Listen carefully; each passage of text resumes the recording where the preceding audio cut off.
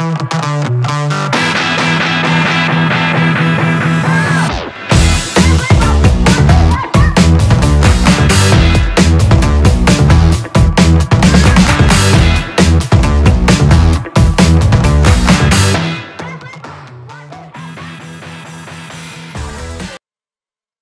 is up, ladies and gentlemen? Welcome to day 90. Did I put that right set up? I sure did. Day 90 of Fusion. Man, we are on the final stretch.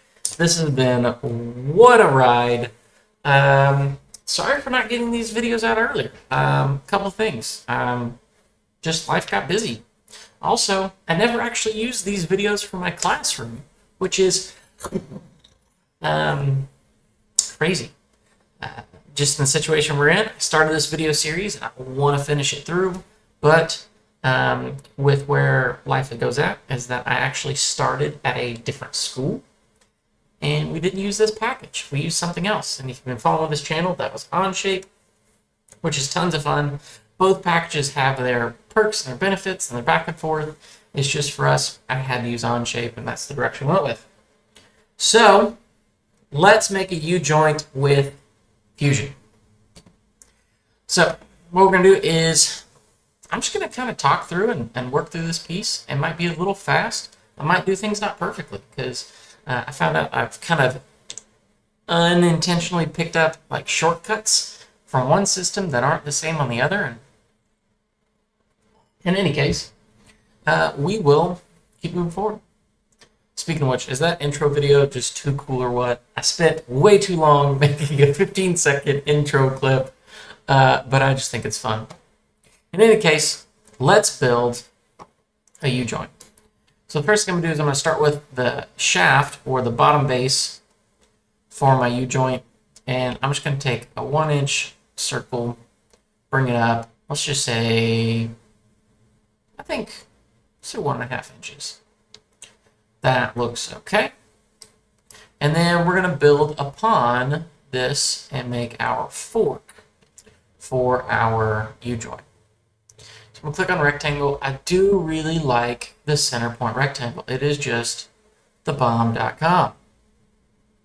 Thank you, Corey Duzan, for that small little tidbit. I mean, there's a couple things he said when I first teaching me how to do 3D modeling systems, and Huge shout out to Corey. If you haven't seen his videos, he is a wonderful instructor. Go to his channel. I'll try to maybe, yeah, you can find Corey Duzan. Wonderful teacher. He's just doing this thing a whole lot longer than I have. So what I'm going to do is I'm going to go ahead and just bring up a U-joint. Actually, let's go back and let's edit this sketch. Because what I'm going to do is I am going to not bring up the whole thing. Actually, yeah, let's finish it first. Let's add some thickness to it. Let's bring it up a quarter inch. And then let's bring up our forks. So let's do another sketch on top of that. Let's do a rectangle here. And let's do another rectangle here. Let's go a little bit thicker though. So let's trim that line. Do rectangle from here to here. Hit finish sketch. Extrude both of these up. Let's go for two inches. That looks okay. All right, so we got our um, our fork here for our U-joint. That base looks a little big, and so I'm actually going to go back in here and I'm going to dimension this sketch to be probably 2.5 inches rather than 3. And is that going to change anything else? Yeah, let's go ahead. Let's go ahead and dimension this. This to this. Let's make it 0.25. Just because I made this earlier and I made it a little too wide um, the problem I found out is that the fork just they inter they overlap with each other and didn't work too well. But we're going to see what kind of mess we get into here. Just to make it look prettier, I'm going to go ahead and round off and fillet, not fillet, these four edges up top. And just to make it bring to a nice, easy point. And we're looking good. we've made our first fork. So since I'm there in our first fork, I'm going to go ahead and take our body here. I'm going to right click and we're going to make a component out of it. So we'll just call this fork. You can kind of call it whatever you want. I've got a student who likes to make the weirdest annotations possible. Uh, the most recent thing of her that she's made is she called her last design dwarf chimes. I think before that it was something about an octopus. In any case, you should probably practice better knowing, uh, naming processes than I have. But we're going to stick with fork for now. Now we're going to cut our hole out. Let's go ahead and go all the way through. Click on cut. And we are almost there, folks.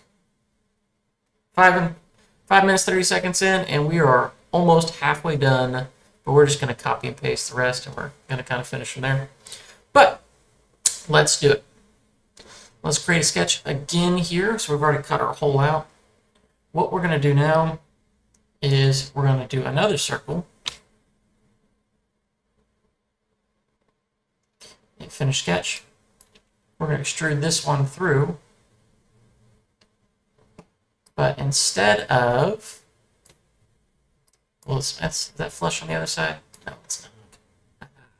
There we go.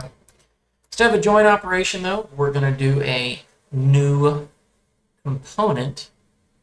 And so what this should do for me is we should have two components here. We've got the fork. We've now got component two. Let's just call this connector. If I can today, there we go, connector. All right, what can we do next? Well, I'm going to right click on this. I'm going to click move copy. And what this allows me to do is allows me to move this piece. However, um, what we're going to do is we're going to make a copy of this piece as we move it. So we're going to click on create a copy and we can kind of rotate however we want.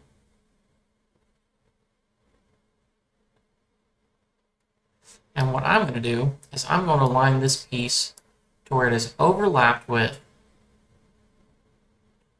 the center of this rod. Now, we have that rod being, uh, I believe, an inch and a half.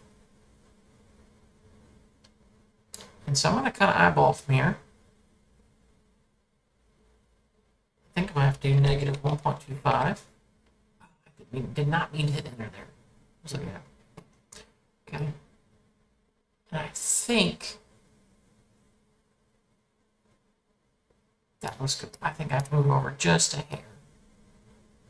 You know what? Let's do this. If we're going to do this, might as well do it right. I'm going to take it, move copy again. We're going to take this body. We're going to translate it. There we go. Let's rotate it. Ah, better answer. Let's rotate it about the center axis here. So I'm going to zoom out so I can select on that center axis. Let's rotate it 90 degrees. And let's create a copy. there we go, folks. Looking great. Okay. Now what this done for me is that this should be a separate body from this piece, which is okay. But what we're going to do then is we're going to combine our target body is going to be, but not that one. No, no, no, no, no. Deselect it. Get out of here. Get out of here.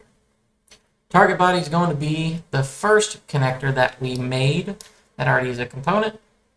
Our tool body is going to be the other part of the connector. It's going to be a join. Let's see how that does for me. So now if I take this and make my connector invisible, both pieces disappear. Everything is looking good. All right, we are almost done, folks. We're just going to take this, and we're going to take our fork, and we're going to do the same thing. We're going to do move copy. We're going to create a copy. And let's uh let's try free move. Let's see if this works for us. So for our Z angle, let's try rotating it 90 degrees. Hit enter again. Get out of here. There we go. Move copy. Components. Wait for Orange to select the fork. Let's try create a copy. Let's do 90 degrees. Oh, not that's the wrong axis. Let's do. Is that gonna be the X? No, that's not it. Come on. The X is gonna be 180. There we go.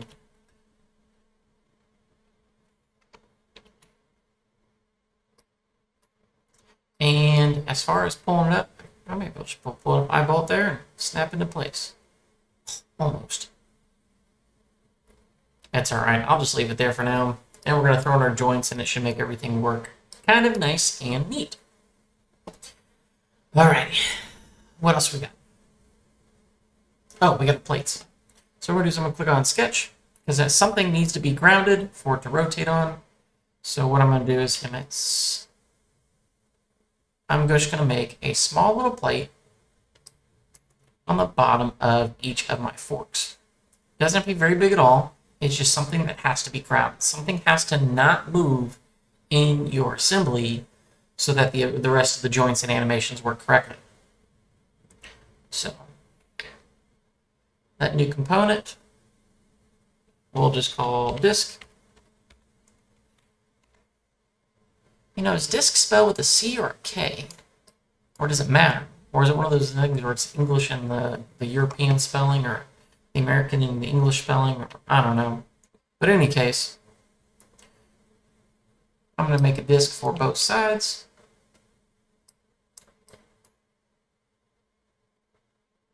New component. This is going to be disk 2.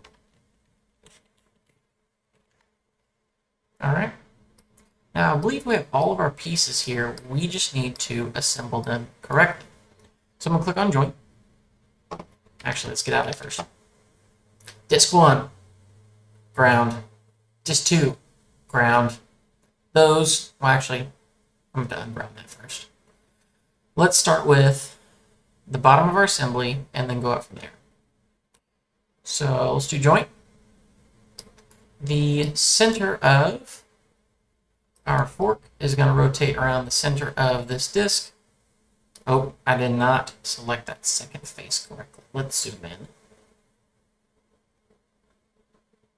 There we go. And the type of motion is going to be a revolute. Boom. Looks great. We're going to do another revolute. So the center of this face is going to rotate around the center of this face looks good. It's not going to go the full way, which is okay, because uh, it's going to be limited by the other half of the fork. So you can, if you want to, put your, your rests and your maximum, your mins, and kind of things like that, but the rest of it's going to be put in as expected. I say that now, and then something's going to go wrong. Remember, this and this is a preview, right? It's it's not thinking about the rest of it, but hey, look at that. Things are looking good. And our last joint is going to be that the other fork is going to spin on the other disc. Click OK. And everything is looking good. Let's go ahead and ground our disc 2. So let's, let's put it on the ground. And, okay. Now what should happen is I should be able to rotate this and it should spin as expected. But that's not really a U-joint. We just made a fancy useless axle. So how do we uh, kind of move things around? So I'm going to unground this second disc, and I'm actually going to move it to a different position. And you can kind of move it wherever you want, and then reground it, capture position, and then if we animate our model, we just made a U-joint. Universal joint, looks great. Oh man, Fusion is fun. Uh, at some point, I might actually 3D print these and just have them like up on the wall where students can kind of spin them with their hands and just see it in action. Uh, with that, I might have to make some small adjustments here. That way, you know, pieces don't fall out. But in any case, we have made a U-joint. This is day 90. we're going to wrap up the last 10 days doing something fun. Uh, I've got some, I think I'm just going to have fun with these last 10 days. Uh, you're welcome to reach out. If these videos have been helpful, please, by all means, like and subscribe uh, and kind of reach out, shout out if you'd like some more specific content. You guys are awesome. Stay awesome. And I will see you guys on the last 10 videos for this series. We are starting something new once we get this finished. Uh, and I don't know if you can see it. Can you see it kind of all the way over there? That is a roll of filament, folks. We're going to start some 3D printing videos on taking this kind of the skills that we've taken from learning it. Now we're going to do it, as in you've been creating these things with us, and now we're going to make it. The third part of the channel is going to start to be in full effect. We're going to buy some 3D printers.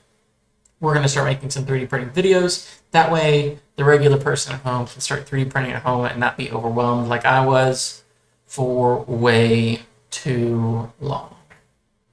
Like I said, you guys are awesome, and I'll see you guys next.